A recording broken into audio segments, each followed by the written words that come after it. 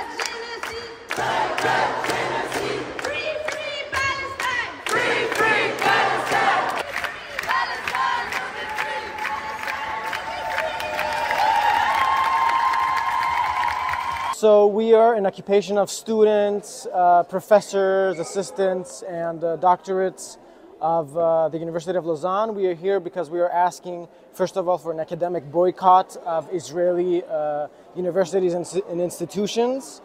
We are also here because we are asking for a, a permanent ceasefire uh, in Gaza and in, in the whole of the Palestinian territory, an end to the occupation of Palestinian ter- territories. Uh, and uh, we, we're also asking from the university to take position on the conflict, on the current conflict in uh, Gaza. So we've been here for around five days, four or five days. And uh, today at six o'clock in the afternoon, we're going to have some uh, negotiations with our with the direction of the university.